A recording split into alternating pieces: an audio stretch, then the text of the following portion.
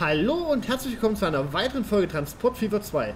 Auch in dieser Folge kümmere ich mich wieder um Busse, dieses Mal wirklich komplett und ich bin mit dem Ergebnis auch ganz zufrieden. Ich würde quasi von einem Bus-Tutorial sprechen. Viel Spaß beim Anschauen.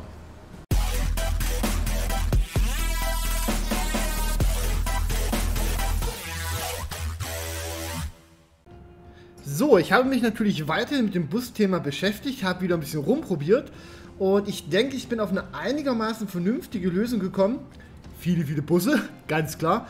Ähm, nein, ich schaffe es aber immerhin auf über 50% Auslastung zu kommen, beziehungsweise 50% ähm, Transport von dem, was ich transportieren sollte. Das klingt eigentlich schon mal ganz gut. Das heißt, das werde ich jetzt so nochmal für euch bauen und dann natürlich noch, ich sag mal, äh, dasselbe in Insel auch nochmal machen und dann beide Städte verbinden. Alles mit Bussen. Und ich sag mal so viel, ich habe äh, ein paar Kommentare dazu bekommen. Ich möchte mich auf jeden Fall beim Tim bedanken, beim Reggie und beim Torben. Ähm, eure Hinweise sind natürlich damit eingeflossen. Danke dafür.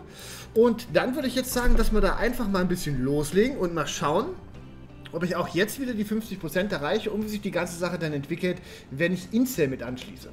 Um die ganze Sache jetzt nicht unnötig äh, schwierig zu machen, ich habe jetzt ja hier die beiden Linien. Da werde ich jetzt ähm, erstmal alle Fahrzeuge verkaufen. Die sind eh veraltet, sage ich mal. Und dann werde ich das so aufbauen, wie ich mir das vorstelle. Und dann die Linien halt entsprechend neu vergeben. So, wie gesagt, verkaufen erstmal ganz schnell die Busse. Und löschen dann auch die beiden Linien. So, dann kommt das große Abrisstool und wir entfernen die Bushaltestellen, die wir schon haben. Und jetzt bauen wir die ganze Sache wieder so auf, wie sich das gehört. Äh, nur ganz kurz zur Planung. Ich plane hier eine Linie, hier eine Linie und hier eine Linie. Das Ganze in beide Richtungen. Es gab den Hinweis, nur in eine Richtung, dafür die Taktung der Busse zu erhöhen. Ich habe das mit der Taktung der Busse versucht. Ähm, der Effekt war gegenläufig. Also wenn ich auf einer Linie zwei Busse habe fahren lassen, habe ich weniger transportiert, als wenn ich auf einer Linie einen Bus habe fahren lassen. Ist so gewesen.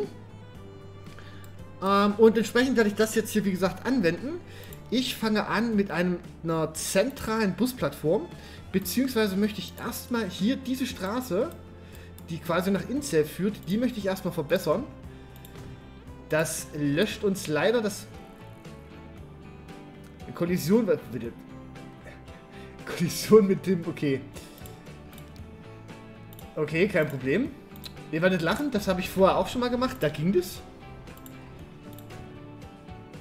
So, okay, dann bauen wir das Gebäude halt einfach nochmal neu hin, ist ja kein Problem.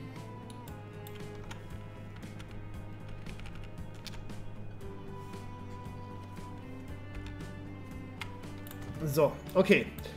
Jetzt die Bushaltestellen hier in der Stadt. Moment, ich könnte vielleicht mal schauen, ob ich das auch noch... Also, dass da so viele Gebäude weggerissen werden, ne, das gefällt mir immer überhaupt nicht. Ähm, aber der Geschwindigkeitsunterschied sind halt 50 km/h, ne? Ja, ich werde das einfach mal machen. Ähm, weil das wären ja so die Hauptbuslinien, die haben jetzt alle Straßen mit 50 km/h. So, jetzt die Bushaltestellen. Ähm, zentral, wie gesagt, eine große Bushaltestelle. Die werde ich jetzt so bauen, dass ich sie auch entsprechend erweitern kann, dass wir wirklich für jede Linie ähm, einen eigenen Wartebereich haben, sage ich jetzt mal, dass wir da auch nicht zu Kapazitätsproblemen kommen. Gut, wir höchstwahrscheinlich eh nicht. Ähm, ich werde die einfach mal ein bisschen weiter von der Straße weg platzieren. Hintergrund ist, wenn ich die Busplattform erweitern möchte, habe ich auch hier am Rand die Möglichkeit, hier vorne, hm, und das würde ich auf jeden Fall noch ausnutzen, diesen Platz. Ist also nicht weit genug gewesen.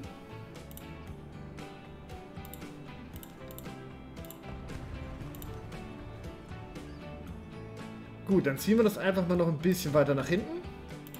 Und schauen uns das jetzt nochmal an. Jetzt sollte das aber passen. Bau nicht möglich. Wegen der...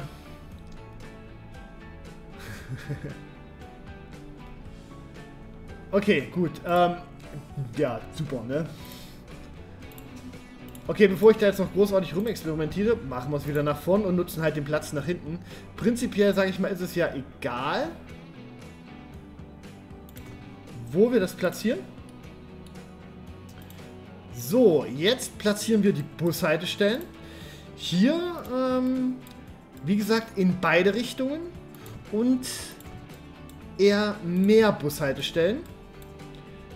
Äh, ich werde das jetzt so machen, dass ich hier vor jeder Kreuzung, hier haben wir jetzt ja quasi noch nicht so viele Einwohner. Das heißt, hier werde ich das jetzt mittig platzieren. Dasselbe dann auch hier. Hier haben wir im Prinzip, naja, noch gar keine Einwohner in dem Bereich. Ähm, um wie gesagt wirklich viele Haltestellen anbieten zu können. So, dasselbe jetzt auch hier. Wie gesagt, das sind ziemlich viele Haltestellen. Ja. Aber ich halte das für nötig, damit halt die Leute wirklich maximal unsere Haltestellen hier verwenden und ausnutzen.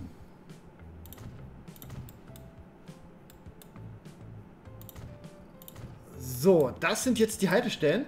Dann können wir jetzt dahergehen und die Linien theoretisch vergeben. Ich möchte es aber gleich so machen, dass ich den Busbahnhof hier, den Hauptbahnhof, Zentralbahnhof, ja, in U also Oberrupolding, dass ich den gleich so weit erweitere, dass automatisch immer eine neue, eine neue Haltestelle, äh, ich sag mal, vergeben wird. Wir brauchen also zwei, vier, sechs plus eine siebte Plattform für dann ähm, nach Incel. Wir haben jetzt zwei, brauchen also noch fünf weitere. Wie gesagt, hier vorne den Bereich, schwierig, wahrscheinlich hätte ich noch viel weiter weggemusst. Ähm, wir nutzen also, erweitern das jetzt hier auf 4, 5, 6 und 7. So, jetzt haben wir im Prinzip sieben Haltestellen an diesem Bahnhof. Entsprechend haben wir auch siebenmal, ich sag mal, die maximale Kapazität. Leider ist jetzt hier das eine oder andere Gebäude, hat sich jetzt verabschiedet, sage ich mal, ja. Ähm, aber müssen wir akzeptieren. So, jetzt vergeben wir die Linien. Und wie gesagt, hier einfach, ich sag mal, drei Kreise. Und zwar jeweils in jede Richtung. Das Umbenennen mache ich jetzt mal noch nicht. Und dann will ich jetzt auch mal schauen, ob das Spiel wirklich jedes Mal hier vorne eine andere Plattform vergibt. Oder ob es das halt eben... Jetzt sehe ich schon, ich habe das hier gerade verbockt.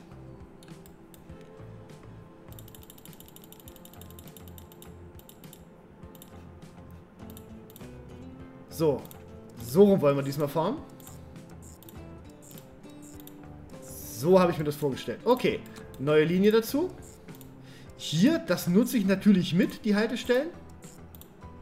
So können die Passagiere auch gleich umsteigen auf die andere Linie, also wenn sie zum Beispiel von hier nach hier wollen und müssen nicht hier nochmal zu dem zentralen Bahnhof, denn ich denke mal, dass es das einfach zu lange dauert und die Leute dann trotzdem laufen. Weil die fahren ja nicht mit dem Bus, wenn sie dann länger unterwegs sind. Ne? Ist ja eigentlich irgendwo logisch. Korrigiert mich, wenn das nicht so der Fall ist. Aber ich würde das so sehen. so, und dasselbe ist auch hier nochmal.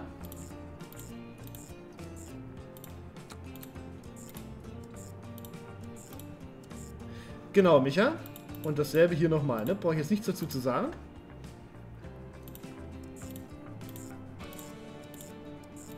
So, dann haben wir hier die Linien jetzt soweit alle vergeben. Es sind natürlich jetzt viele Linien, ist klar. Ihr seht also, es ist wirklich wichtig, die Linien auch entsprechend zu benennen. Ansonsten habt ihr echt keinerlei Durchblick mehr am Ende. So, jetzt schauen wir uns doch mal an, wie die Linien vergeben wurden. Wir haben jetzt hier unsere sechs Linien und wie gesagt hier sieben Haltestellen drin. Und das sollte jetzt natürlich optimalerweise so sein, ähm, dass an jeder Haltestelle immer nur eine Linie anhält. Prüfen können wir das ganz einfach. Wir gehen hier bei Linie 1. Ach, wir machen das ganz einfach. Wir stellen das jetzt hier auf 1. Ich sehe schon, da sind gar nicht... Äh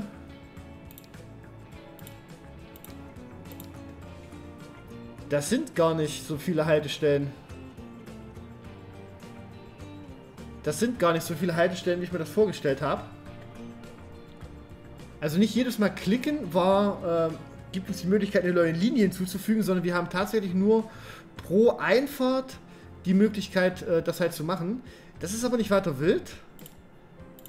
Die Haltestellen sind ja trotzdem groß genug. Und wir haben das jetzt so verteilt, dass wir in jeder Einfahrt immer zwei Linien haben.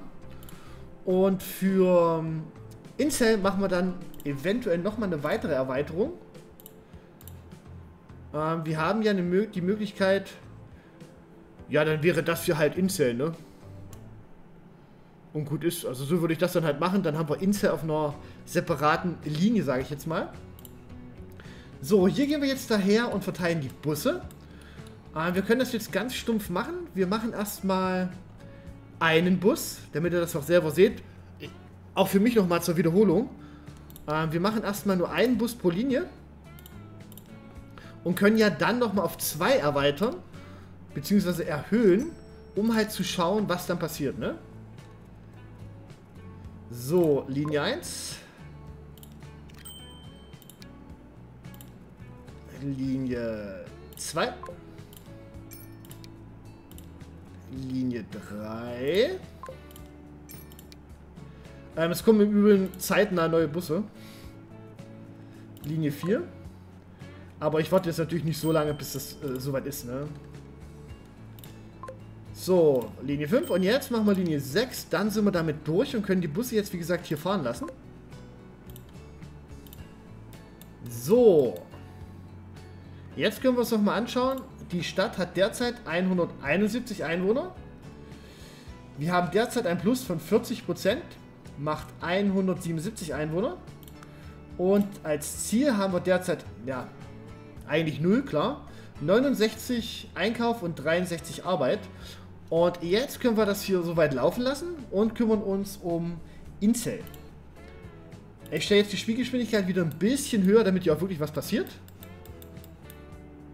So, in Insta ist die ganze Sache jetzt natürlich ein bisschen schwieriger, denn hier, nur wieder zur Information, haben wir die Wohngebäude hier in dem Bereich. Das heißt, die Leute wollen natürlich hierher zum Einkaufen und hier zum Arbeiten.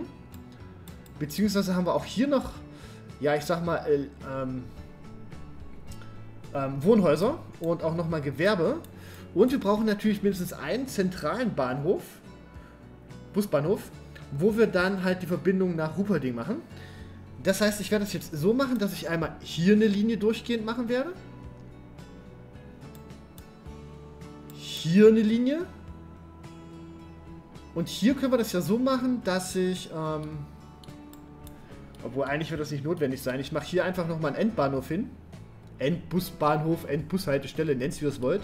Und dann halt hier nochmal einen schönen Kreis. Und hier können wir ja dann ähm, mehr Busse fahren lassen, je nachdem schauen wir uns dann halt an. So, so viel dazu. Wir können uns natürlich auch nochmal anschauen, wie die Leute hier fahren wollen. Ähm, wenn wir jetzt hier nur Incel nehmen, wie gesagt, das bringt uns nicht wirklich viel, weil auch nur Incel fahren ganz, ganz viele nach außen und wie gesagt, diese Übersicht bringt uns eigentlich gar nichts. Wir arbeiten einfach weiter nach dem Prinzip, dass die Einwohner der Stadt zu den Industriegebäuden und zu den Gewerbegebäuden wollen. Danach werden wir das aufbauen und gut ist. So, ich fange wieder hier an. Hier haben wir jetzt allerdings nur, ich sag mal, hier werden nur zwei Linien ankommen. Das heißt, hier reicht uns diese Größe aus. Sprich, wir brauchen das Gebäude nicht erweitern. Also die Bushaltestelle brauchen wir nicht erweitern.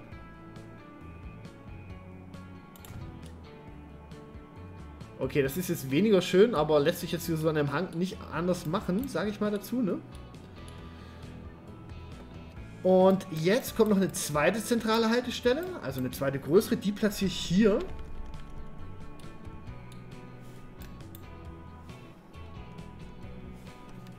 So, natürlich richtig das auch wieder einigermaßen schick aus, ne, ist klar.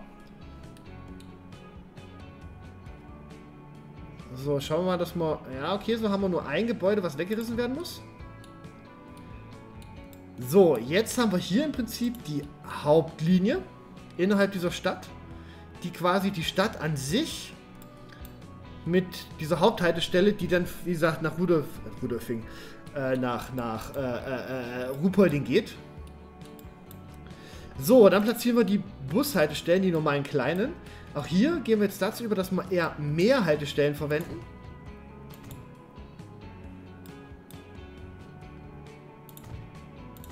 Also wie gesagt, eher mehr, bevor ihr weniger verwendet. Ähm, und jetzt hier noch einen Kreis rum, so dass wir auch das hier alles mit angebunden haben. Auch hier werde ich jetzt wieder ganz stumpf eher mehr als weniger machen.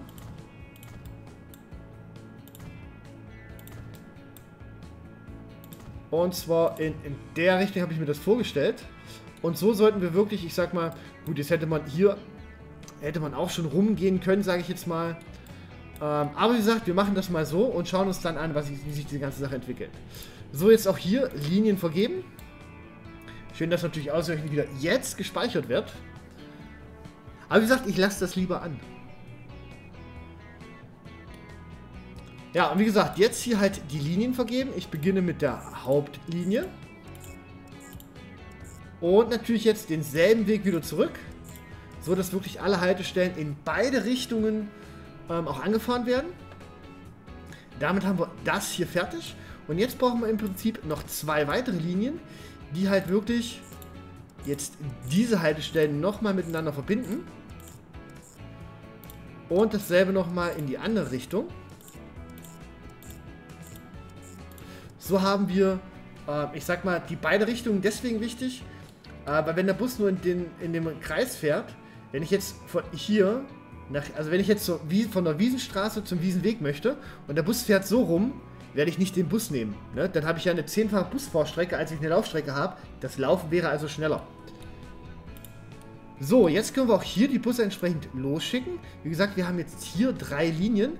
Und hier würde ich das jetzt so machen, da die Linien länger sind und wir mehr Haltestellen haben, würde ich jetzt hier pro Linie je zwei Busse losschicken.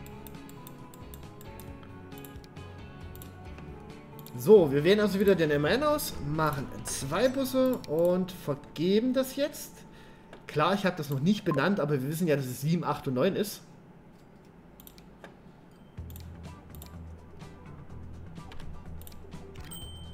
Warum macht das Spiel das jetzt oben immer zu?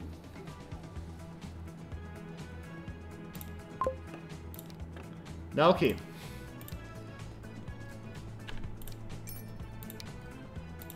So, 7, 8 und 9. Kann es jetzt sein, dass ich dass die Busanzahl jetzt nicht so ist, wie ich das gesagt habe?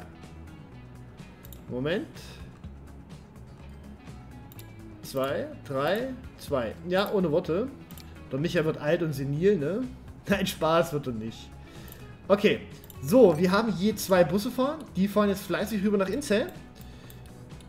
Und wir haben auch schon die ersten Passagiere. Ich sag mal, so richtig viel Verkehr auf den Linien erhalten wir erst dann, wenn wir beide Städte mit Bussen verbunden haben. Weil, warum sollte jetzt, also, hier können jetzt keine Leute kommen, das ist klar. So, dann werden wir jetzt hier gleich die Straße verbessern. Wir werden daraus eine Bundesstraße machen. Ähm, allerdings, ja, also vierspurig baue ich das jetzt nicht aus, ne?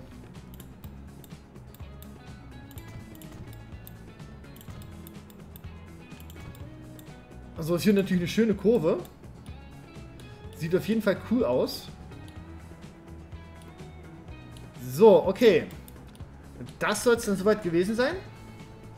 Ah, hier wartet jemand, hier wartet jemand. So, wie schauen die anderen Haltestellen aus? Ja, ja. Immerhin. Immerhin. Also äh, Profit machen, damit könnt ihr vergessen. Ne?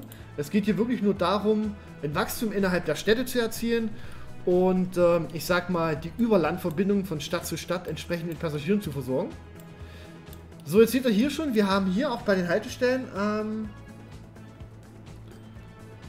hm, ich sag mal, wir haben überall Leute stehen. Sind nicht viele, aber wir haben Leute stehen. Das war das Ziel. So, schauen wir uns mal an. Wir haben nur ein Plus von 10%. Das ist nicht gut. Und wir haben auch nur eine Auslastung von 36%. Wie gesagt, kann sein, dass das noch ein bisschen dauert, dass der Prozentwert noch steigt. Ähm, müssen wir uns dann anschauen. Ich stelle einfach die Zeit jetzt mal auf schneller. Kann natürlich sein, ähm, dass wir doch zwei Busse nehmen müssen. Ne? Dass, als ich das vorhin probiert habe, bevor ich die Aufnahmen gestartet habe, dass einfach die Zeit dazwischen nicht lang genug war. Kann natürlich sein. Ne? Prinzipiell habe ich aber alles wieder so gebaut wie beim letzten Mal. Und wir sehen noch, es steigt noch leicht. Ja, wir haben immer noch eine Verbesserung drin. Ich bin fasziniert, wie lange das dauert. Ne? Immerhin, wir kommen auf 41%, 42%. Schauen wir zwischendrin einfach nochmal nach Incel, wie es hier jetzt läuft. So, hier haben wir immerhin 25% und ihr seht schon, der zwei, also die zweitwichtigste Verbindung. Jetzt kommt der neue Bus, sehr schön. Darauf habe ich nur gewartet, denn das ist jetzt quasi der perfekte Überlandbus, ne? Ähm, ja, jedenfalls sieht man hier schon, die Leute, okay, jetzt wollen sie nach Schneitzereuth mehr. Aber Ruhpolding ist auf jeden Fall wichtig. Das müssen wir anbinden. Gut, wie gesagt, jetzt ist es Schneitzereuth. So, wie schaut es aus? Wir haben jetzt hier 29%. Und hier in Ruhpolding, ah, plus 20, sehr gut. Wir beschleunigen also das Wachstum der Stadt. Generieren mehr Passagiere dadurch. Und wir liegen jetzt bei 49%. Wir haben fast die 50%-Hürde geknackt. 50%, sehr gut. Ne, also wie gesagt, ein zweiter Bus bringt uns jetzt hier noch nichts. Ähm, was ich jetzt aber noch machen möchte, ist, dass ich jetzt beide Städte miteinander verbinde. Und da werdet ihr sehen, dass wir mit Incel dann relativ viele Passagiere transportieren können. Und gleichzeitig natürlich auch der Innerortverkehr nochmal zunimmt, der Innerorttransport. Denn die Leute wollen ja nicht nur hier zu dem zentralen Bahnhof, zu der, zu der zentralen Bushaltestelle. Nein, die wollen ja irgendwo hin hier. Das heißt, der Prozentwert wird noch weiter ansteigen. Und dasselbe gilt natürlich dann auch hier für Incel. Hier sowieso, da ja wir die Busse nur hierher schicken und die im Prinzip alle komplett auf die andere Linie umsteigen müssen, um ihre wirklichen Ziele zu erreichen. Und dann kann es vielleicht tatsächlich passieren, dass man auch mit den innerstädtischen Bussen, äh, ja ich sag mal, Geld verdienen, ne? So, Ruperting sind wir jetzt gerade von 54 wieder auf 53% runter, aber wir sind auf jeden Fall auf über 50%. Und das ist sehr, sehr gut. Ja, meiner Meinung nach ein sehr guter Wert. So, schauen wir nochmal Incel an. Auch hier haben wir jetzt schon einen Plus von 20% erreicht. Und eine Auslastung von 39. Okay, aber auch hier wird es noch steigen. Äh, interessant ist jetzt, dass Schneizerold so wichtig geworden ist, dass dort mehr Leute hinwollen als innerhalb von Incel, ne? Okay, wie gesagt, dann richten wir jetzt die Linie ein um beide Städte miteinander verbinden zu können. Und hier hatte ich ja gesagt, hier möchte ich jetzt eine extra Haltestelle haben. Das heißt, wir verbessern den Bahnhof. Und machen hier einfach, ja, auch hier werden jetzt wieder... Wie gesagt, das bringt uns nichts, ne? Das erhöht nur die, ich sag, nur den Platz, dass dort mehr Menschen warten können. Das wollen wir nicht, wir wollen ja eine weitere Linie anbinden. So soll das auch erstmal reichen. Und jetzt schicken wir da die Busse nach Incel über diese Linie. So, und ihr seht, hier reicht uns das. Hier macht das Erweitern... Können wir das auch erweitern, die kleinen Haltestellen? Moment, stellen wir die Geschwindigkeit wieder ein bisschen runter. Na, die kleinen... Nee, das hätte mich noch gewundert, ne? Aber wäre, ähm... Hätte Sinn gemacht, ne? Muss man ganz klar sagen, hätte Sinn gemacht, die ganze Sache. Äh, ihr seht hier an den Haltestellen wenig Leute, die warten. Das wird sich gleich ändern, sobald sich diese neue Linie etabliert hat. Ich werde hier auch natürlich gleich mehr Busse verwenden. Wir können uns mal vergleichen. Wir haben eine Geschwindigkeit von 80 km/h. Bei beiden Bussen Kapazität 16 beim alten, beim neuen 21 und Ladegeschwindigkeit ist gleich. Bei dem größeren Bus, der mehr Leistung hat, die, sind die Emissionen geringer. Sehr schön, ne? Okay, ich baue einfach mal fünf. Und wie gesagt, die schicken wir jetzt los. Und dann schauen wir uns auch hier an, wie sich das entwickelt. Und wie gesagt, ihr werdet sehen, dass wir zum einen ähm, die Ziele jetzt nochmal deutlich erhöhen werden. Ja, 57% mit nur einem Bus, wohlgemerkt, ne? Das ist ein sehr guter Wert. Ähm, Insel steht hier auf dem zweiten Platz, ne? Genau, auf dem zweiten Platz mit 0%. Werden wir uns anschauen. So, unsere ersten Schlenkis kommen an. Hier wartet noch niemand auf Linie 10. Ja, das dauert ein bisschen, bis sich sowas immer etabliert, ne? Schaut cool aus.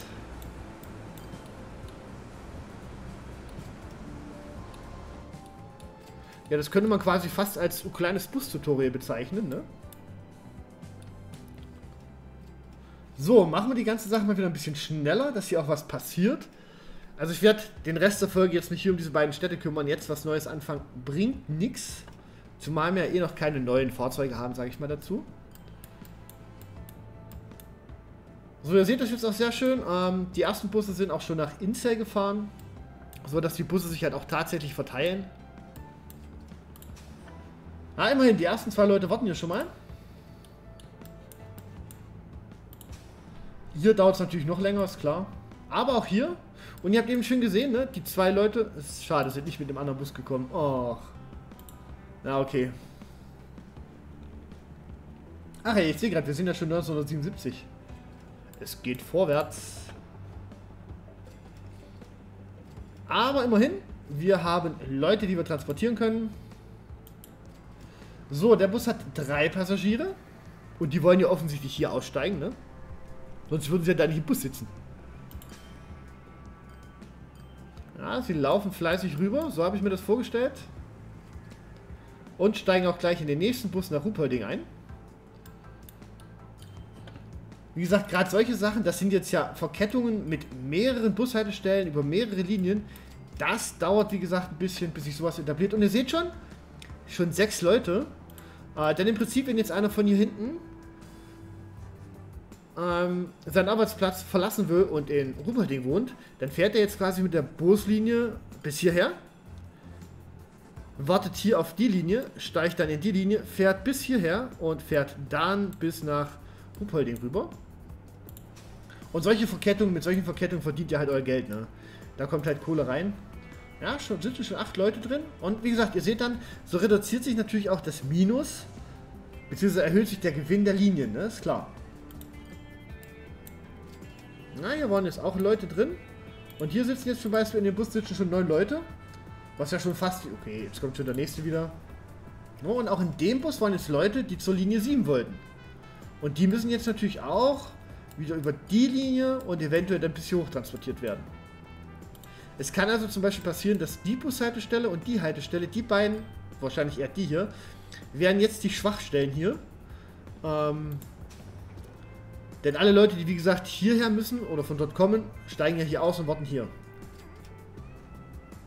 Aber das werden wir dann sehen und entsprechend beobachten.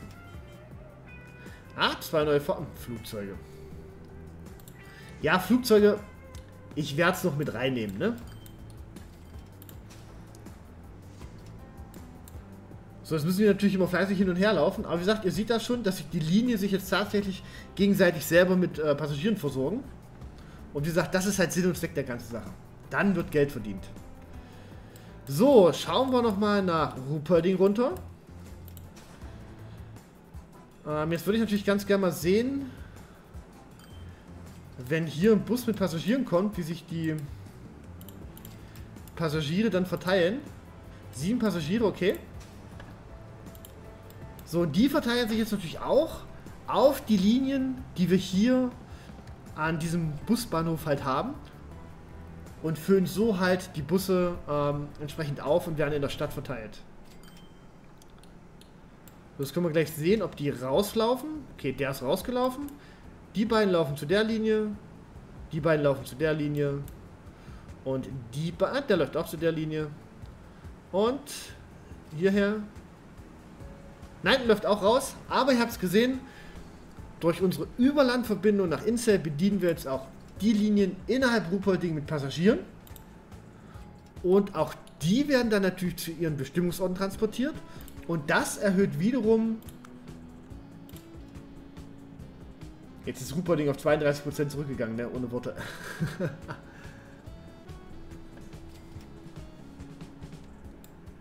Könnte man noch schnell schauen. Ähm, werden wir jetzt auch hier die Busse wieder erhöhen. Wie gesagt, ich probiere hier noch aus.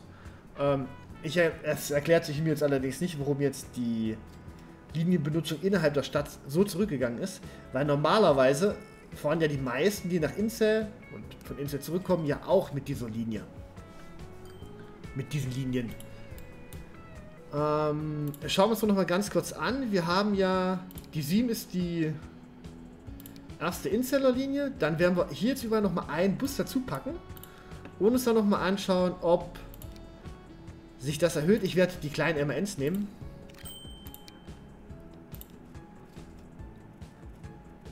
So, Linie 1. Schön, jetzt bleibt das obere Fenster offen. Vorhin war das nicht so, ne? 3. 4. 5 und 6 folgen noch. Und dann stellen wir die Zeit nochmal schneller. Und schauen uns die ganze Sache dann an, wie sich das entwickelt. So, nochmal ganz kurz zur Kontrolle, dass wir auch, hm, dass wir auch überall zwei Busse drin haben. Okay, und wie gesagt, 7 ist ja dann in Insta und da haben wir ja eh überall die zwei Busse. Also ihr seht natürlich, dass jetzt die Emissionen nehmen jetzt natürlich zu. Ja, wir können uns das natürlich auch nochmal anschauen. Das sind hohe Werte. Ja. Ich meine, gut, es ist jetzt noch leicht hellrot, sage ich mal. Aber ihr seht halt, wie mit jedem Bus, der fährt, erhöht sich das. Und nach einer gewissen Zeitdauer reduziert sich das wieder. Und so kann es natürlich sein, seht ihr sehr schön, jetzt geht es hier wieder zurück.